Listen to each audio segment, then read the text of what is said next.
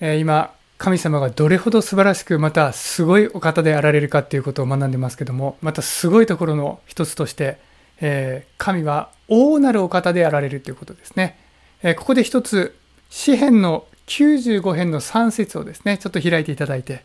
えー、次のように書いてありますね。主は大いなる神、すべての神に勝って大いなる王だからである。ここにまた新しい概念として、この神なるお方は王であられるということですね。王は、国を持っていて、そしてそこには国民が住んでいるわけですね。その国を王は守り、そして、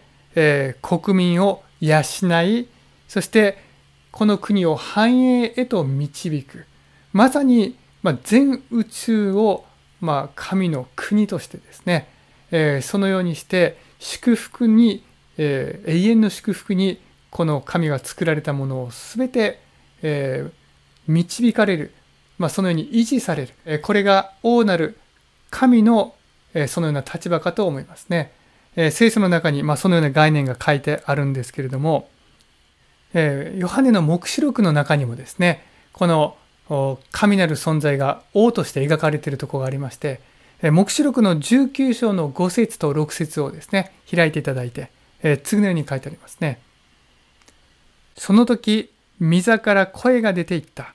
すべての神のしもべたちよ。神を恐れる者たちよ。小さき者も大いなる者も、共に我らの神を賛美せよ。私はまた大群衆の声、多くの水の音、また激しい雷鳴のようなものを聞いた。それはこう言った。ハレルヤ、全能者にして主なる我らの神は、王なる支配者であられる。えー、まず、この神が王であられるというね、まあ、この概念についてですね、これは2つの意味でちょっと考えたいんです。まず1つは、全宇宙の創造主であられ、統治者であられるゆえに、えー、王という存在である。これはまあ、あの、わかりますけども、もう一つはですね、えー、この罪という世界の中において、えー、まあ、この世界の支配者は、あ一見サタンに見えるわけですね。まあ、つまり、サタンは自分のことをこの世の君だと表現するわけです。えー、アダムからその主権を奪って、そして、えー、この地上のありとあらゆる主権を自分は持っている、まあ、そのような王であるというね、えサタンはそれを主張するわけですよね。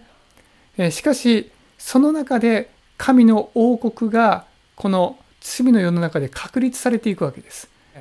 え旧約時代に神を全能者としてね、え天地万物を創造され全てのことに不可能のないお方だという、まあ、そういう概念を持って、まあ、全能者という、え信仰を持って神に従っていた人たちがいました。まあ、そういう忠実な人たちがいたわけですね。え、そして、えー、世界歴史はずっとそのような、まあ、少数なこの神との契約者っていうのがね、えー、いつの時代もいたんですけども最後に先ほどこの黙示録の中で王なる支配者であられると宣言をしている部分がありましたけども実はこれはもう一度まさにこの世の王としてえー、最後に主権が神に戻る、まあ、そのようなシーンなんですね。えー、今までの主権はサタンに、まあ、サタンが罪人を持って、ほら、全世界の、この地球上の全世界の人たちは罪人じゃないかと。自分の奴隷であって、自分は彼らに対してもう好き放題できる、そのような王としての権威を持っているといつも主張をしてたわけです。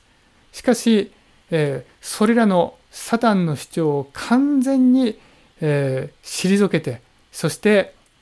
神がこの地上の全ての主権をですねもう一度回復させられてそして王としての立場を宣言する、まあ、そのようなシーンが黙示録にあるわけですね。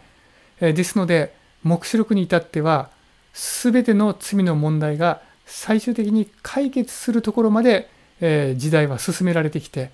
まあ、私たちのこの目前にあるのは、ま、そのような時代が非常に切迫しているということなんですけどももちろんそこに至るまでにはサタンの非常な抵抗があります、